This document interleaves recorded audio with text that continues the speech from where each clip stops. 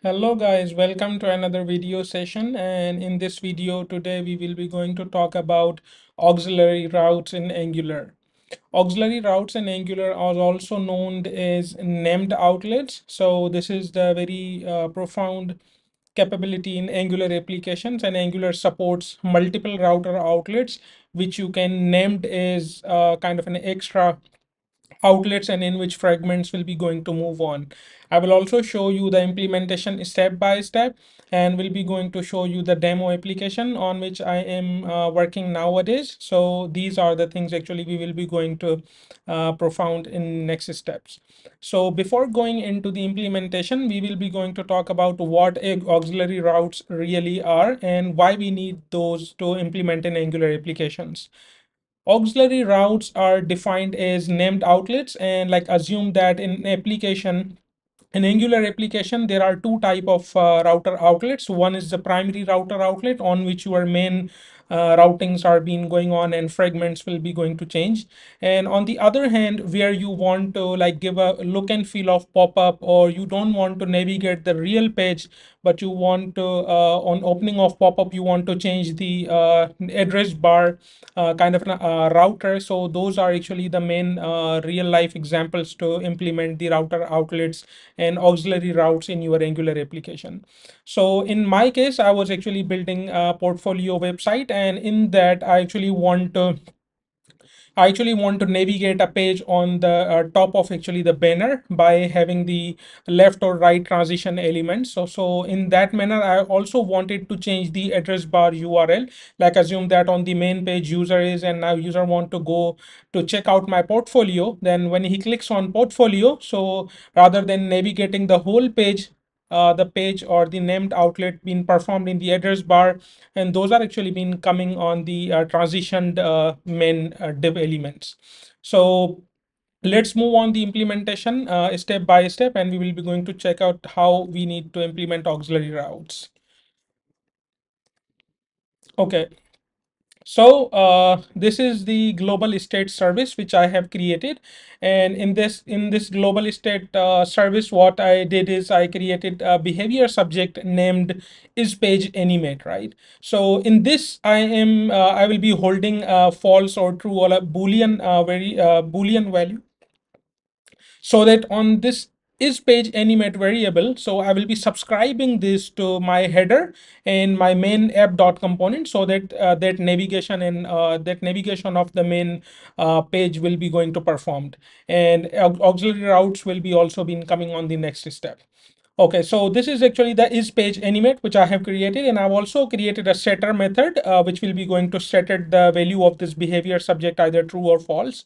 So by implementing uh, by implementing the router outlets in your application so uh, here you can see so currently uh, my version of the application is angular 18.20 which you can see. So here in the uh, we have uh, app dot app dot routes dot ts file. And in this file what i did is i uh, initialized outlet key value pair. So this is a property in uh, when you are defining your routes. So outlet is the property where you need to define your uh, outlet. So in my app dot component, you can see this is on line number six. This is the uh, this is my main router outlet, which is called the primary.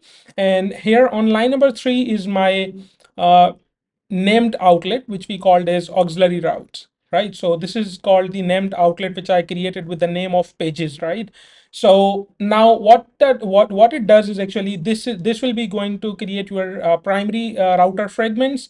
And here on line number three this is called the uh, auxiliary route implementation of your main outlet right?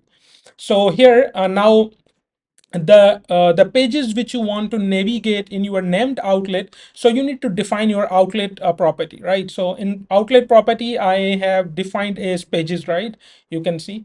Experience portfolio tech talks and certifications publications honor and awards. These are actually the pages which i which i want to navigate in this uh, named outlet called pages right? So that's why i have defined those. And this is the one the first one uh, which is the main uh, which is the main outlet and the primary router called home page component. And this this page i don't want to navigate on the named router so i didn't define outlet key here. And right so this is and also uh, in the app dot component you can see i have uh, what i did is like i have created the page animate uh, page animate div and in that I have added is show and hide. So this is for applying transition element from left to right and right to left. So in the CSS, uh, if I can show you the CSS, you can see is like it's kind of a, a position fixed and right is uh, right zero and height is actually right minus 100 so that the whole page will be vanished on the right side when it will be hidden. So this is, uh, these are actually on the homepage component side. So if we can move further, so Okay. So inside uh, this app dot component, you can see uh, this this is the behavior subject which I'm subscribing. So this is we have created is page animate, right? So this is the behavior subject. You remember I shared here in the global state service. I have created this is is is page animate, right? So this is uh, the one which I'm calling inside app.component.ts file to because behavior subjects are broadcasters, kind of a broadcaster when you hit uh, some event from another component and you want to continuously listen to that broadcasted or changed value so there we use behavior subject in angular. So is page animate i'm continuously listening to that broadcasted value which is triggered from the header component. So this is uh, and is page animate is my boolean uh, variable here in the app.component.ts file.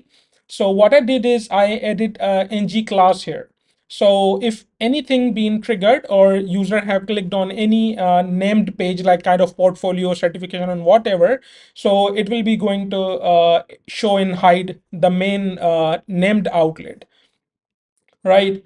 So now if you can see also in the header component, so this is the header component where I have uh, multiple routings, uh, multiple routers I have defined. And these are, this is also, uh, you can see on navigate function, right? So on navigate is when user clicked on the header, any header item. So it will be going to trigger that behavior subject and setting the value of true. That means now the named outlet will be going to appear. So th when this is being triggered, app.component automatically listening to that value continuously. So when it went to true, that means the transition from right will be going to appear, that the extra named page will be going to appear on the screen. So in, on the second step, what I'm doing is I'm navigating and this is how you can uh, navigate to your outlet uh, pages, right? So these are actually the outlet pages on which you are being going to trigger. So here is the pages. So pages is also the same name as you remember I have defined in my app.router outlets here. Outlet is pages, right? And this is also defined here, uh, pages router outlet.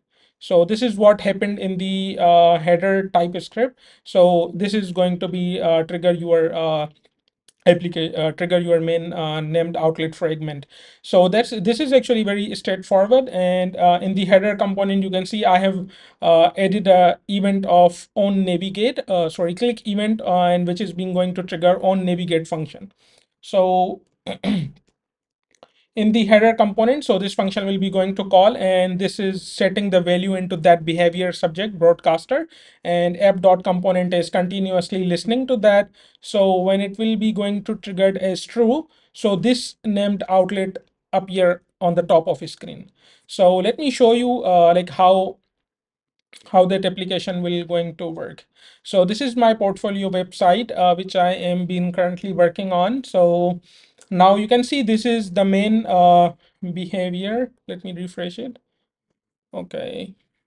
So I'm using a GSAP library in it. So GSAP is kind of a, a JavaScript based uh, scroll trigger based animations you have to apply. And also like on, on the top of it, like you can see here in the top bar experience portfolio tech talks. So this is the header component from where that broadcaster is updating the value. So when I click on experience, so that broadcasted value is uh, changed into that uh, service to that behavior subject and due to which app.component is continuously listening. So the named outlet main div uh, which is actually been uh, having the transition from right so that's been appearing. So when i'm closing it so in the header component there is a close uh, there is a close method which is written also so it's been closing to that or that that that, that is in the app dot component so if i can show you uh like how it's been working on. So from app.component, you can see there's a close function, right? So when I'm hitting the close, so what is what it will do is like it will be going to update the value of that behavior subject uh, here. So this is being setting as false, right? So once it's been false, so navigate is also being applied as uh, like empty. So this is how it works. When you when you see when I click on experience, so it's been coming on and you can see the address bar. So it's been adding uh, pages and colon experience. So pages is the named outlet, which I have defined as auxiliary route. So when I close it, so you can see it's been now again been clear out.